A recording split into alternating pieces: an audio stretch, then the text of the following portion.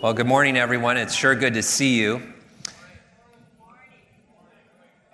All right. I seem, I seem to always have that effect on you. But, anyways, I believe that God's going to teach you and I something here that's going to make a big difference in our lives in just a moment. We are talking about prayer, the Lord's Prayer. And when it comes to prayer, you and I have issues. We don't know if it works or how it works. We repeat certain phrases over and over. We say interesting things like a hedge of protection, or when people make us food, we pray that God would bless their hands, but apparently we're not interested in God blessing the rest of their body. Even if in, we do believe in prayer, we can be highly inconsistent. And so the Lord's Prayer gives us an opportunity to lean in to hear Jesus himself praying.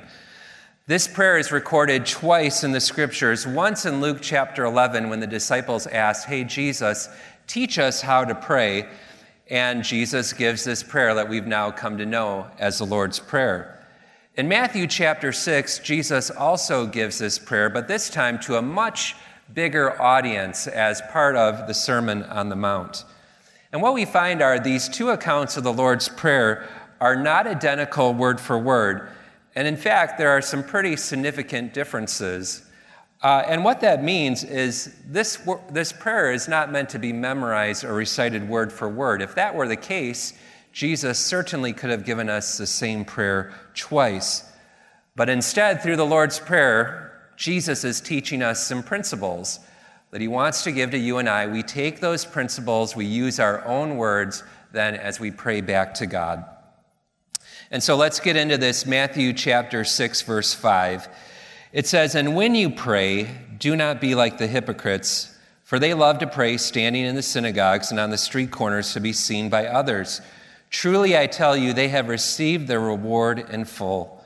But when you pray, go into your room, close the door, and pray to your Father who is unseen. Then your Father, who sees what is done in secret, will reward you. And when you pray, do not keep on babbling like pagans, for they think they will be heard because of their many words.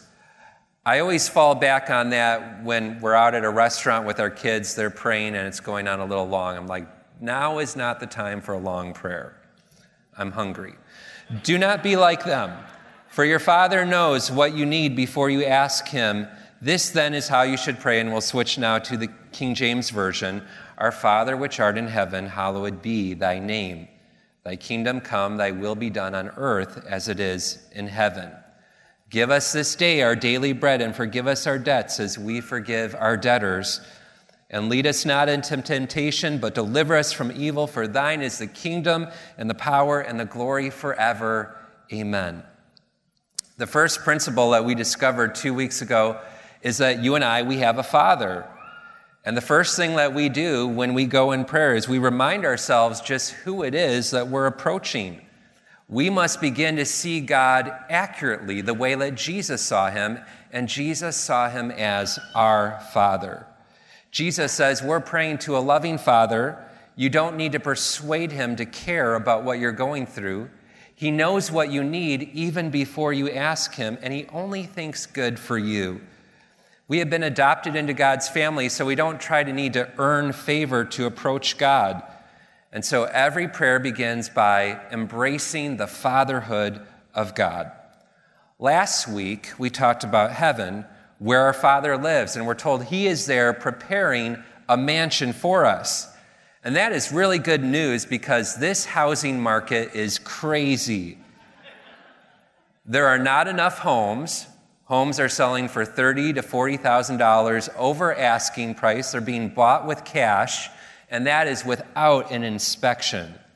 And so this is a crazy housing market, but the good news is our Father is preparing for you a home for eternity, and it's not just a starter home, it's a mansion. Now, this week we want to go on to this next phrase Hallowed be thy name. What does this mean? When is the last time in casual conversation someone even mentioned to you that word hallowed? Uh, ladies, was it when you were out with your girlfriends, you're having petite salads, and someone notices your new fossil purse and said, That's hallowed? Guys, is it when you're at the gym and you put another plate on and they say, wow, them gains are hallowed? Oh, that hasn't happened? You see, hallowed is an old English word, and to hallow something means to treat it as sacred or as ultimate. It means to seek something above all else, to make something your ultimate concern. It is the most important thing, to make it the most crucial thing, the ultimate aim of your life. To hallow something means I am lifting this up as the most beautiful thing, as the supreme goal of my life. Jesus says this comes first. And it comes first because not only should all prayer be about this, but all of life is meant to be about this. Life works best when we understand we are here to worship God and to bring Him honor. When we recognize Him, He is the author and the all important one. And so, hallowed be thy name. This is the very first ask of the Lord's Prayer. Have you ever stopped and thought about what is the very first thing that I ask for when I stop to pray? What is my first request each day? So, my son Luke, Friday night, he, uh, he headbutted me in my teeth, and so my lips are all swollen this morning. And uh, so, I'm going to use him as a sermon illustration all throughout today, kind of payback. So, my son, he's two years old, and he wakes up just like clockwork right around 7 a.m. each day. And each morning, he's been thinking about something, he's been dreaming about something all through the night. So, he makes a beeline to our bedroom, wakes me up, and he makes his requests known. And so, um, he knows what he wants in life. I mean, he's going places, he's got a strong will, he's got a temper. I don't know where he got it from. It's clearly not my side of the family. Some mornings it's easy. He just says, You know what, Daddy, I want milk, or I want to watch Daniel Tiger Neighborhood. Other mornings he wants peach jello and to play Hungry Hippos. Some mornings he's more bold. He says, I want to go to Chuck E. Cheese. I'm trying to teach him if I take you twice in a year to Chuck E. Cheese, you're doing really good. Some mornings he'll ask for a smoothie and a car wash. Now, I love to say yes to my kids. But because I love my kids and I love my son, sometimes I have to say no. No, you will not eat any more marshmallows today. You're going to turn into a marshmallow. No, I will not give you any more candy before dinner. And when I tell him no, he becomes a different person he says, I don't like you. You're not my friend. Because you won't give me everything, I can't trust you to give me anything. It's the very same thing that was in the heart of Adam and Eve in the Garden of Eden. God says, I'm going to give you this entire garden, and you can eat from every tree here. There's just one. There's the tree of the knowledge of good and evil. And in their hearts, they said, Because God won't give me everything, God won't give me anything.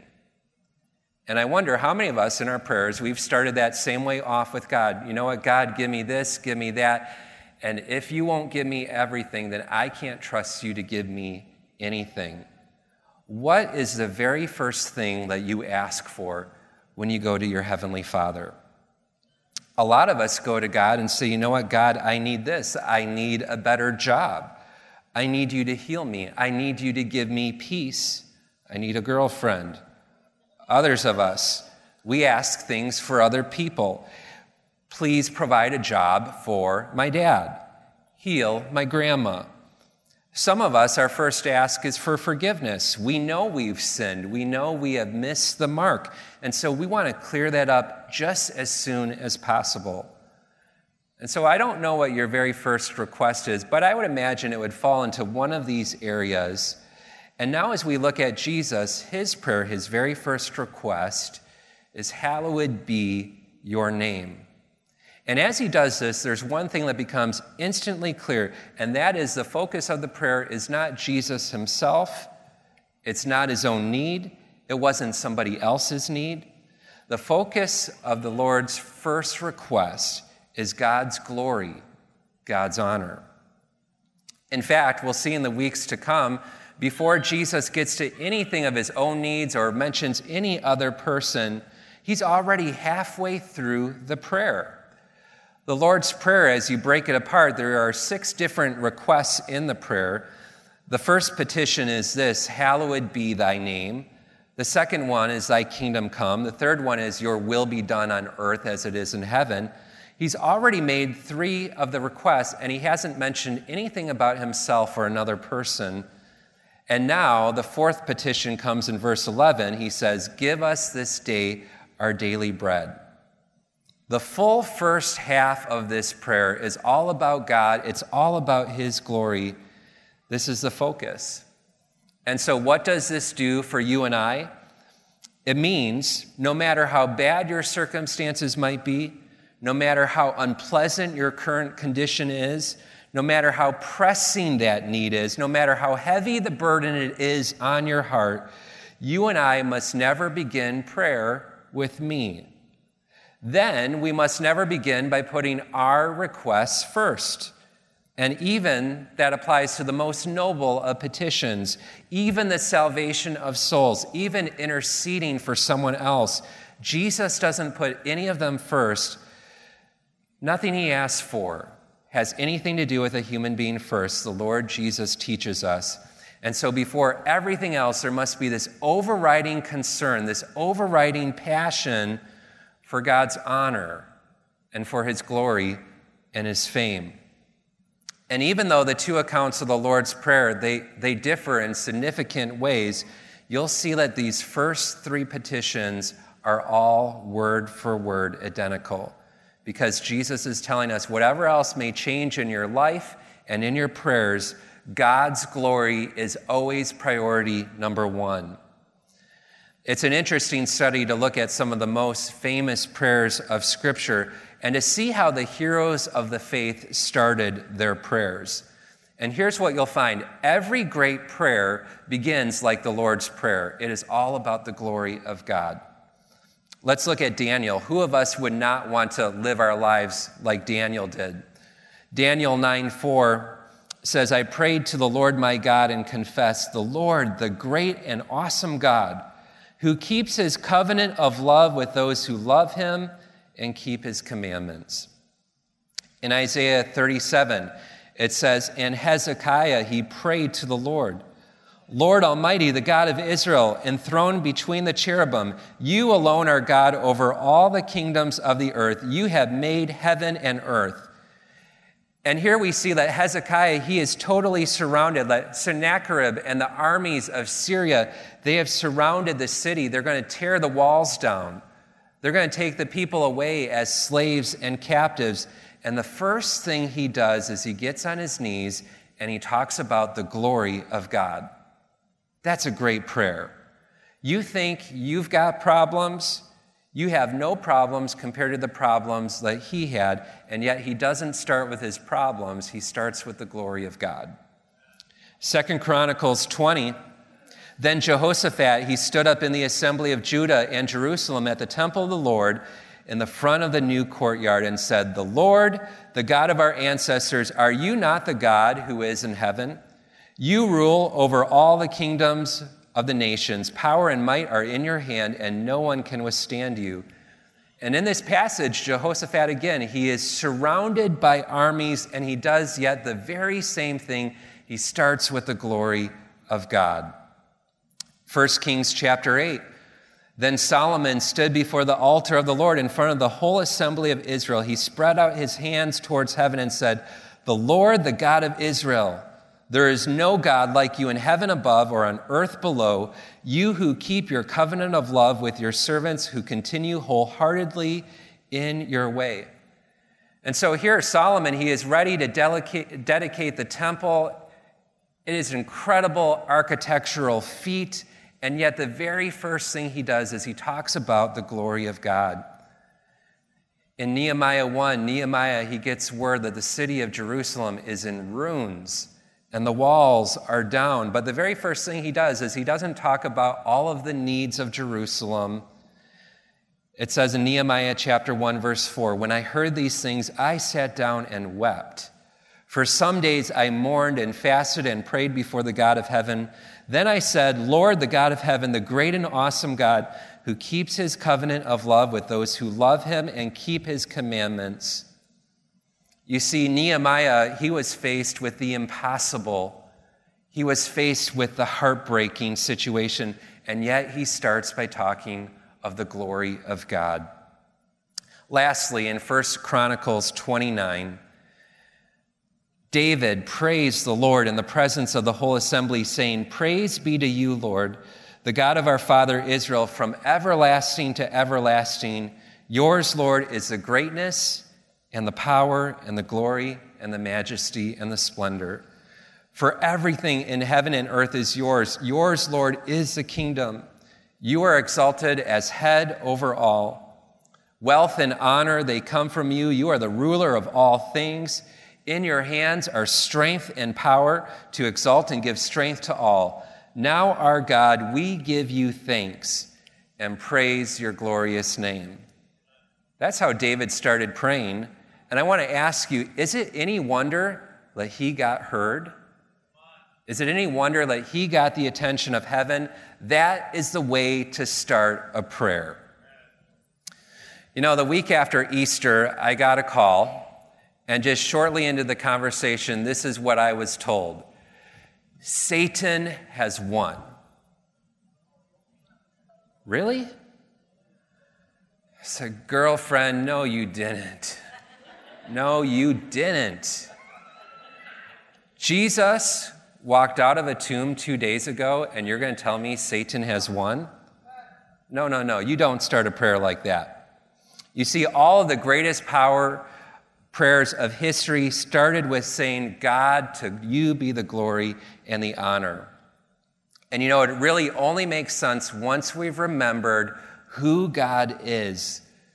And we got that clear vision. It makes sense then to say, Hallowed be your name because the glory of God is the ultimate end of all things. There must be a desire above everything else in our life to lift up God, to request only the things that will lead to glory of God, and we cannot pray effectively unless the glory of God is our overarching motive and passion. It has to be the chief concern of every prayer. We have to be willing to disregard ourselves and our own needs and our problems in that first position to put the glory of God first. And that's how we pray as Jesus has taught us to pray. To go a little bit further, what does it mean to hallow thy name? If we were to go back into biblical times, we would see that the Jews had an unparalleled reverence and respect for God and his holiness. In fact, they had so much respect for God's name that they wouldn't say his name out loud. They believed that God was so holy, so high, and we were so sinful that to even speak that name would somehow bring disgrace upon God. And so they wouldn't speak his name. They wouldn't say Yahweh. They wouldn't say Jehovah. They wouldn't even pronounce it. Instead, in Hebrew, they would say Hashem, meaning the name. They would just refer to the name generically. And so they would say Hashem of the Old Testament or Hashem speaks this. And therefore, when Jesus says, Hallowed be thy name, he's referring not just to the name, but to God and all that he is. God revealed himself with many different names. He is Elohim, he is the God of all power. He is El Shaddai. He is the Almighty God. He is the God that is sovereign. He is Elyon. He is the Most High God. He reveals himself as Jehovah in many different forms, that he is Jehovah Rapha. He is the Lord that heals. He is Jehovah Shammah. He is the Lord who is there. He is Jehovah Jireh. He is the Lord who provides. And he is Jehovah Shalom. He is the Lord that brings us peace. God uses all of these names to describe who He is, and the term thy name encompasses them all. It's the entirety of who God is. Now, when Jesus prays that God would hallow Himself, He's praying that He would hallow God. What does that mean? He's praying that through his life, that his name would be revered amongst all men and women and children. They would all come to know him and place their honor and trust in him. He's praying that the whole world would come to worship the one true God, to give him the glory and fame that is rightfully his. That's what Jesus is praying here. Jesus says the very first request that I have is that every human being would come to the place where they would honor and trust your name as they should. That's what Jesus wants. Now, I love to travel around. I love to go in airplanes, but I'm kind of caught between a rock and a hard place because the last few years, I've been getting more and more scared of turbulence. Is anyone else scared of turbulence in planes? Like when it just drops a thousand feet without notice? And so recently, my wife looked over at me and I am clutching the handrest. She's like, Wow, you're sh- sure holding on to the plane pretty tightly. I am. But there's something that I told myself then, and I, I try to remind myself every time of this. When you look out the window and you look at that engine, that's not a Southwest engine or United engine or a Boeing engine. Many of those engines actually have a little RR next to them. And does anyone know what that RR stands for? Rolls Royce. Has anyone ever driven a Rolls Royce? And so when I see Rolls Royce, that name carries weight with me. You know what? Rolls Royce doesn't make junk. Rolls Royce doesn't make engines that are going to break down halfway through. And so I'm like, that's a Rolls Royce. I'm going to be okay. Now, the reason why I bring that up is I want you to bring a parallel then to the name of Jesus, that his name would be hallowed and respected and revered, the top shelf name. That every time people would hear that name, they would know, I can trust that name. Every time I speak that name and people are being rattled around in the turbulence of life, there would be a reaching out and a clinging to that name, realizing that name never fails that name always delivers and brings you through. That's what Jesus is praying for when he says, Hallowed be thy name. You cannot read through the Gospels and fully understand what Jesus was fully about unless you understand he had this all consuming desire to bring glory to God's name. In John chapter 17, we, we find the high priestly prayer of Jesus and he starts it off very similar to what we see in the Lord's Prayer. John 17, 1, it says, After Jesus said this, he looked towards heaven and prayed, Father, the hour has come. Glorify your Son, that your Son may glorify you. The beginning again of Jesus' prayer is to bring glory to God. In John 8 49, Jesus said, I do not seek glory for myself, but I choose to seek honor for my Father. You'll never understand what made Jesus tick and what drove his life until you understand it was the glory of God as his highest priority. And so, if you and I, if we are going to pray like Jesus, and if you and I are going to live like Jesus, we must also be preoccupied with the glory of God. Hallowed be thy name does not mean that you are concerned about mispronouncing God's name. No, what we're praying here is God, would you use my life to show people your glory? Jesus prayed in John 17, Father, glorify you through my life. And then Jesus, right before he goes to the cross, he goes to a garden to pray. And he says this Matthew 26, My Father, if it be possible, let this cup pass from me. Nevertheless, not as I will, but as you will. You see, when Jesus prayed, Hallowed be thy name, he put his life on the line so God could use him to hallow his name. And we need to see that. If we, if we miss that, we miss the whole point. Praying, Hallowed be thy name, we're asking God, use my life to bring you glory. Praying that God would use my life as a vehicle of glory, whether He chooses to do that by bringing you riches or by poverty, whether He chooses to bring glory by giving you success or failure, whether He brings glory through your sickness or through your health, your victory or defeat, when we say, Hallowed be thy name, we're saying, God, use my life to bring you glory, however that comes to me, and maybe however low I have to go. Sometimes it's through the deep waters that we bring glory to God. God, glorify your name. If we're honest, a prayer like that ought to give us pause. If we really understood what hallowed be thy name all involved, maybe we would be hesitant to pray it. Because, truth be told, sometimes, sometimes God prefers to use us in failure, and sometimes He shows greater glory in our weakness. Sometimes God prefers to use us in a weakness and defeat as opposed to success. And so, if you really want your life to honor God, you've got to be ready for Him to do it in both the good and in the bad, because that's how God does it.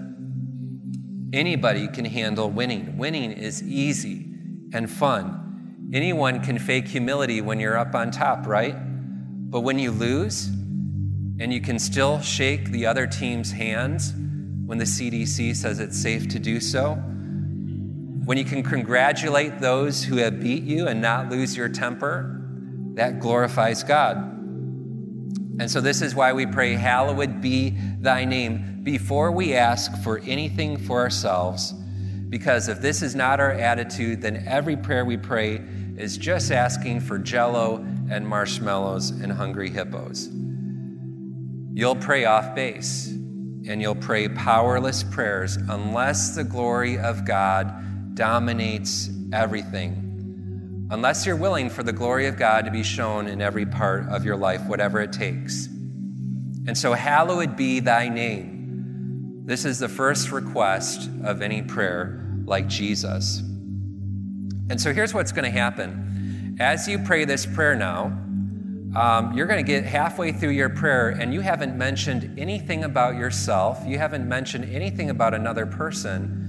And all of a sudden, you're going to have a new perspective and you're going to begin to think, you know what, maybe maybe that new job isn't so important. Maybe God has me where I am for a reason. Maybe that relationship, I see it in a new direction again as we seek the glory of God first.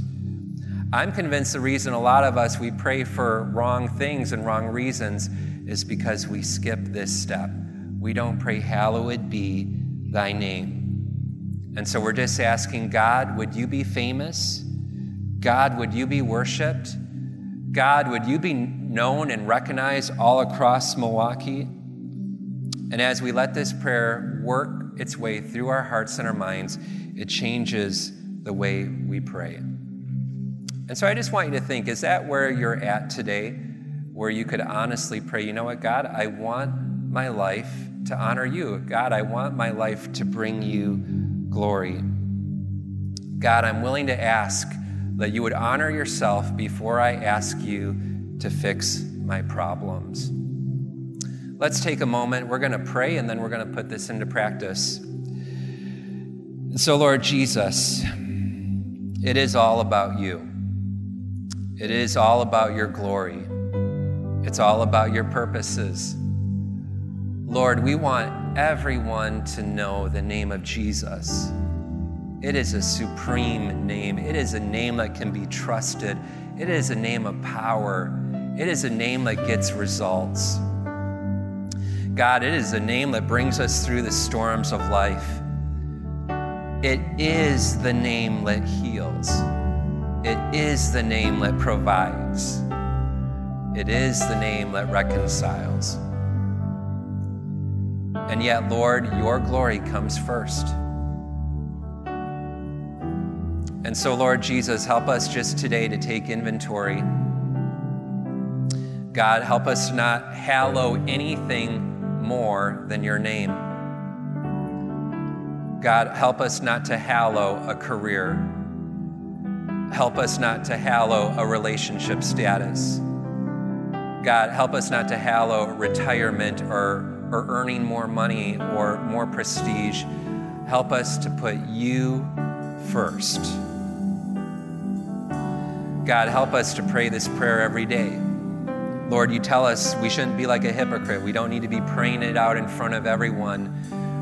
Where the rubber meets the road is in private, in closed rooms, where we just worship you. There's no agenda other than to say, I want to hallow you and your name.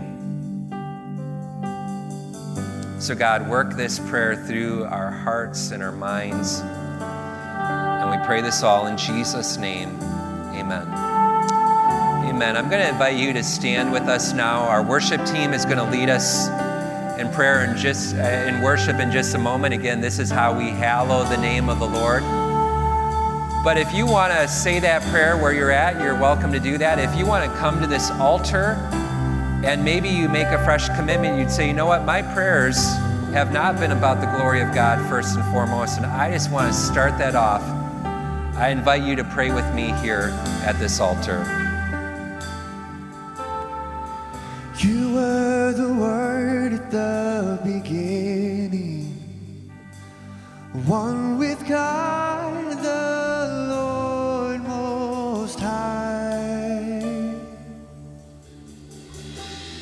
hidden glory in creation, now revealed in you are Christ. What a beautiful name it is. What a beautiful name it is. The name of Jesus Christ, my King. What a beautiful name. Nothing compares to this. What a beautiful name is The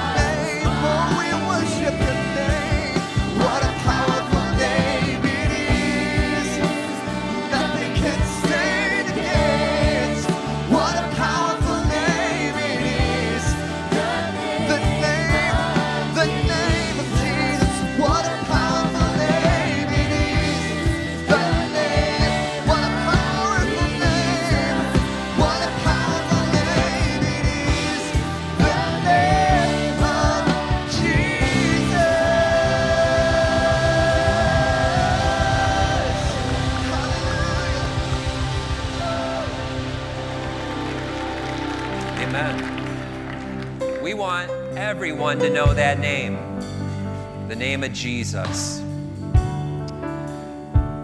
You know, a lot of people, they struggle with worry and anxiety, and they'll say something like this You know what? I bring my requests to the Lord. I mean, I have prayed about this, and I still worry. I still have anxiety. And I believe in what we talked about today, there's a great key for us here is that we have gone, we have first brought our requests to the Lord, and we have skipped the whole part about His glory being first. And so, I encourage you, if that's where you're at and you're still worrying about something, go to your prayer closet each day this week and say, you know what, God, your glory first. And you're going to experience the peace of God in a new way. I want to close with this prayer that I found. This is kind of a paraphrase of what we've talked about today. Hallowed be thy name. Father, your reputation is at stake in me today. People will either hallow you or hate you based on what they see in me. May the Spirit of God live through me. Lord, may I do nothing to debase or defame you today. Lord, may you cause every minor detail of my life to be a credit to you. Lord, may you cause my life to reflect to people who and what you really are.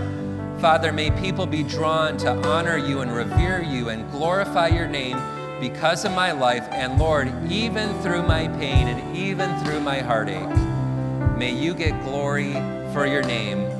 May people come to embrace you and be saved so that they can pray right along with me, Hallowed be thy name. Let's pray. And so, Lord Jesus, Lord, help us to pray this this week and in our prayer closets away from everyone else. God, let there be times where we just worship you and say, What a beautiful, powerful name is you. Lord, we believe that you have changed us, you've challenged us, and I pray you go with your people now. Lord, let us spread that name everywhere we go, the hope that we have uniquely in you. Give your people a wonderful day of rest and enjoyment. And we pray this all in Jesus' name. Amen.